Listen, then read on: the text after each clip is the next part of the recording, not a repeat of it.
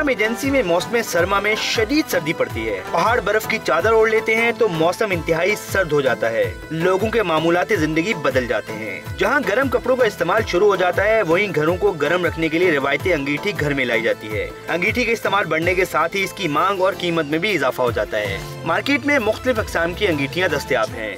جس طرح کے لوگ کہتے ہیں کہ انگیٹھیوں کی قیمت میں روزمرہ اضافہ ہو رہا ہے یہ اسی وجہ سے ہو رہا ہے کہ پہلے چادر کی کلو چھہتر ستتر روپے میں ملتے تھے ابھی ایک سو دو روپے ایک سو تین روپے میں ملتا ہے۔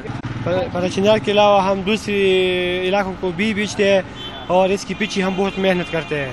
قبائل کا کہنا ہے کہ ایک طرف سردی کی وجہ سے انہیں شدید مشکلات کا سامنا ہے تو دوسری جانب انگیٹھیوں کی قیمتوں میں اضافہ ہو چکا ہے۔ پچھلے سال ان انگیٹھیوں کی قیمت بہت کم تھی لیکن اس دفعہ بہت زیادہ ہے۔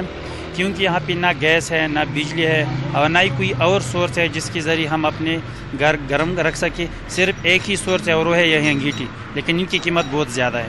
کرم ایجنسی میں نومبر سے مارچ تک انگیٹھیوں کا استعمال کیا جاتا ہے، جو کہ نہ صرف آلودگی کا سبب بنتی ہے، بلکہ اس سے مختلف امراض بھی جنم لیتے ہیں۔